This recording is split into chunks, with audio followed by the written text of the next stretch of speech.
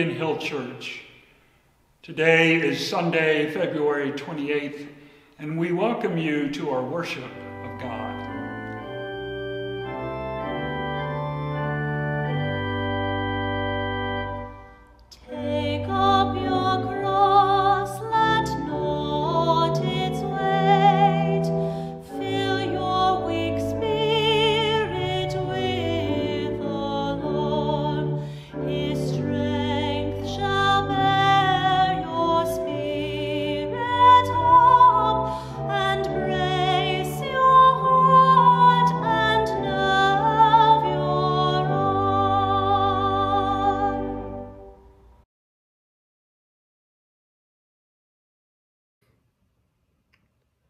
A reading from the Gospel of Mark, chapter 8, verses 31 through 38.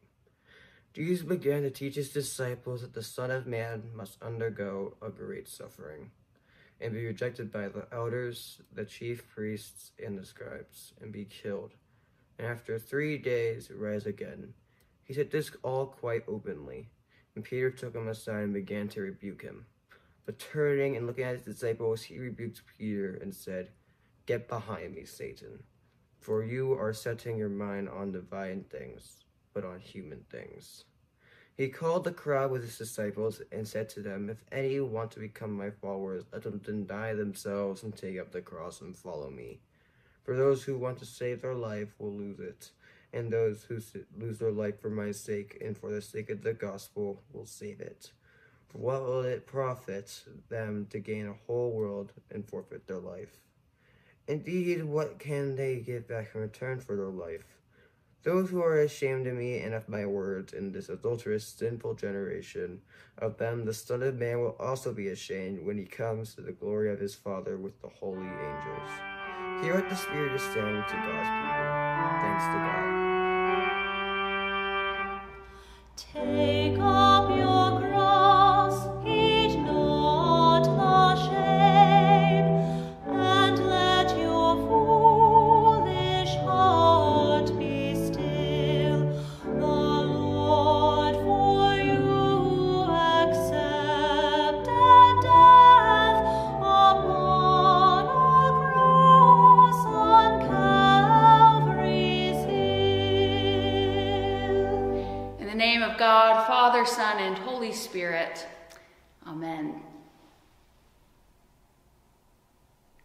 Now, some of you may or may not know this about me, but I come from a family of educators.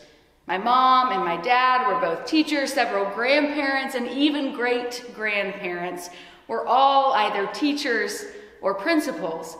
And so growing up, we were allowed to have a packed social and activity schedule as long as we were still doing okay in our classes. My parents always had us reading at home, learning grammar and math tricks, and even had us singing along in the car to made up songs to teach us our multiplication tables. And because of all of this, I think I was just sort of destined to become something of a teacher's pet.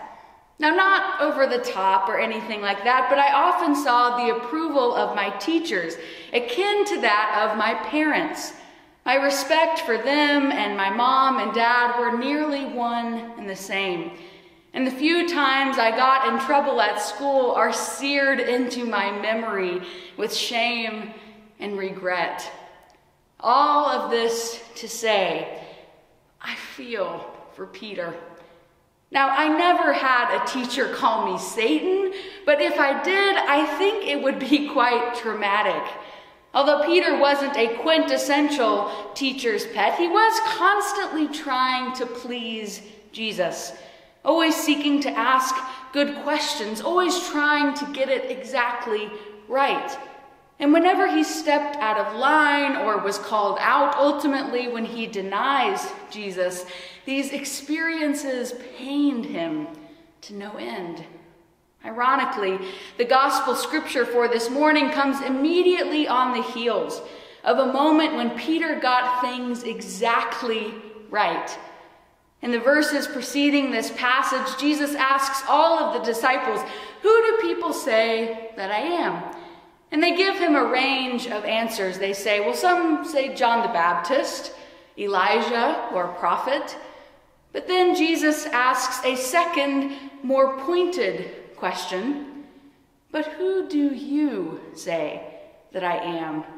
To which Peter responds enthusiastically and correctly You are the Messiah.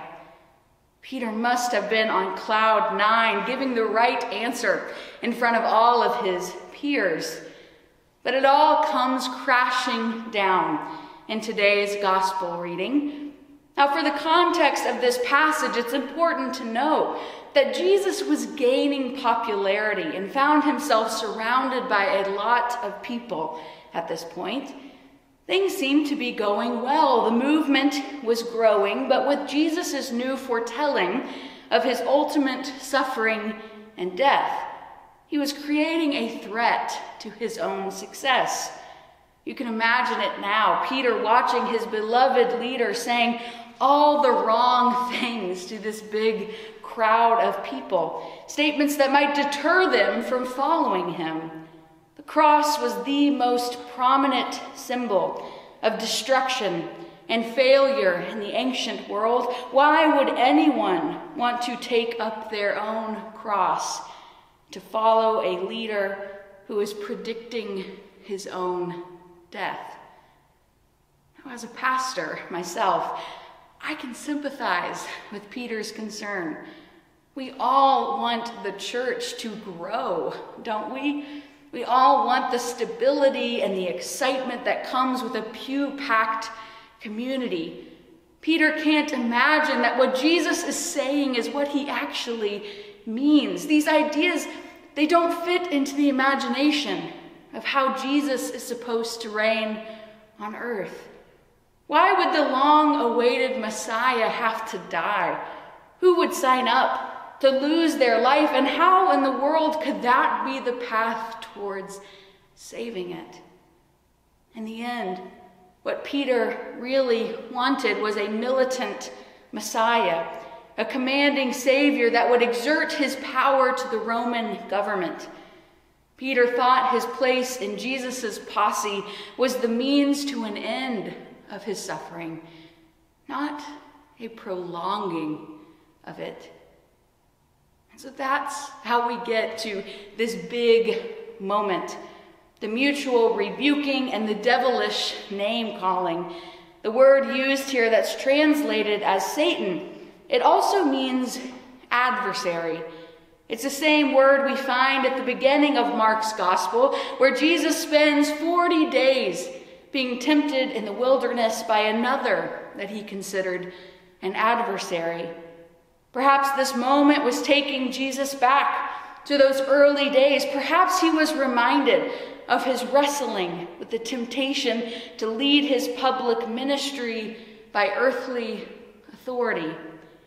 Perhaps Jesus knew that the gospel he was preaching would be rejected by many. It sure is tempting to preach a gospel of prosperity and success. That gospel sells. That gospel quickly grows churches and money and influence. That gospel is far easier to believe, but it is not the gospel of Jesus. The gospel of Jesus turns the whole thing upside down, flipping the economy of this world on its head. The gospel of Jesus doesn't promise power or profitability. The gospel of Jesus offers a place in a new kind of kingdom, one where God's mercy is for the sinners, God's presence is in the suffering, and God's power is exalted in weakness. This is the place where you will find your life. But you must first be willing to lose it. It's a suitable message in this season of Lent. the time in the universal church when we come face to face with the question which gospel do we love more? Which do we choose, the gospel of this world or the gospel of Jesus? It's possible that some of us might walk into this season with trepidation, with fear of coming face to face with ourselves, our sin, our faults, our propensity to so quickly lose our souls if it means gaining the world. But I must admit, although this season is not easy, I find it to be a breath of fresh air. And Lent, we are given permission to fully recognize the burdens of this life, to come to terms with our human limitations to journey with Jesus to the cross, a path that is inevitably paired with suffering. As we travel together for five more weeks of Lent, my prayer for you and for me is that we settle into the gift of this season, that we slow down, we examine, and we ask God to wake us up to the truth of the gospel May we be willing to take part in this new reality, and may we pick up our cross and follow him.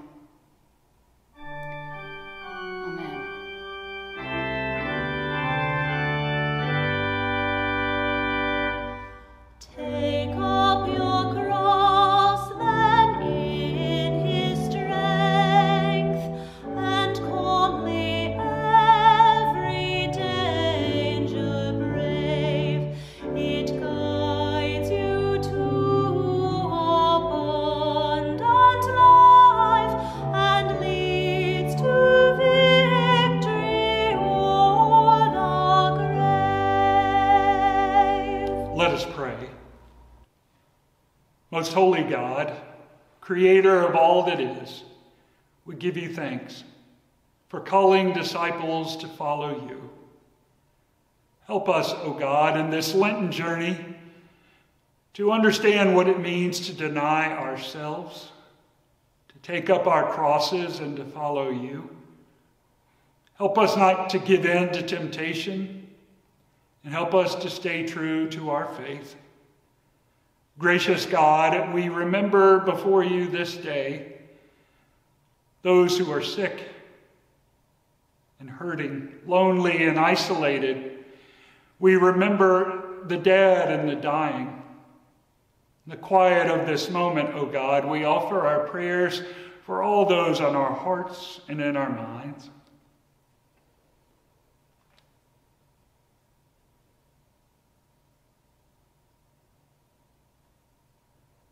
O Lord our God, hear our prayers. We pray for all those that are caregivers, doctors and nurses, for orderlies, and those who must make difficult decisions about care and end of life. We pray, gracious God, for teachers and students as they prepare for spring break not too far away. We pray for safety in travel and ask your blessings to be upon us all, gracious God. We pray for our community, our city, our state, our nation, for all the world. We pray for peace and understanding, for goodwill. We pray, gracious God, for leadership that is strong and wise. We ask your blessings upon each of us as we continue in this Lenten journey. Grant us strength for the rest of the way. For this and all of our prayers we ask in Jesus' name.